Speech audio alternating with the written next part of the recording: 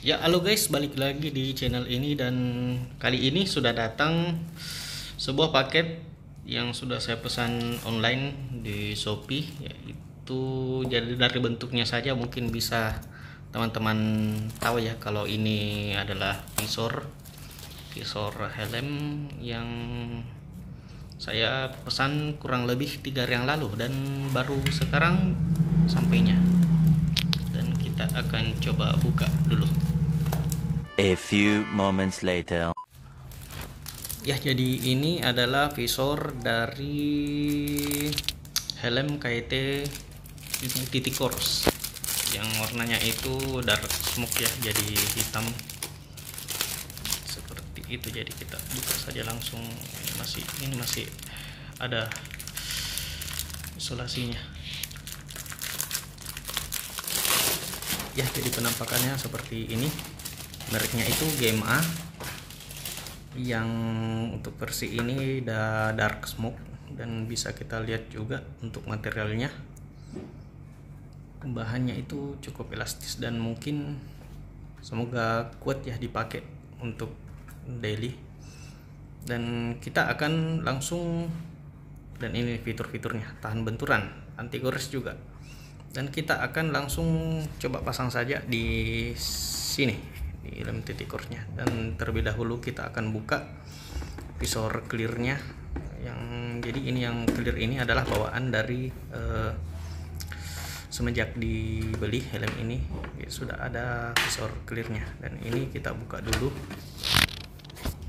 Sebelah kirinya kita tarik kita tarik saja langsung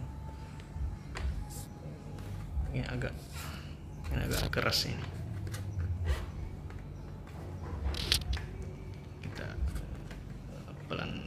Saja. Oke, jangan dipaksa ya teman-teman. Jadi kita harus cari celahnya. Ya cukup mudah untuk dibukanya. Jadi ini visor standarnya.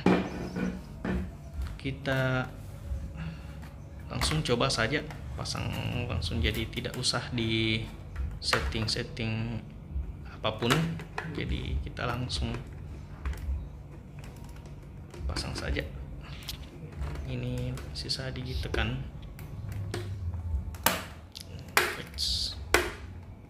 Ini agak susah ini mungkin karena baru kali ya jadi agak susah di ini harusnya sih kalau sisa dipencet itu langsung ngunci dia.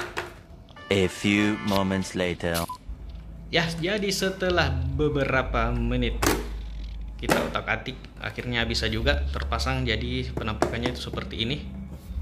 Jadi kurang lebih se seperti visor yang bawaannya begitu ya. Jadi cukup presisi juga untuk ukurannya dan untuk penguncinya yang di tengah juga bisa terkunci dengan baik.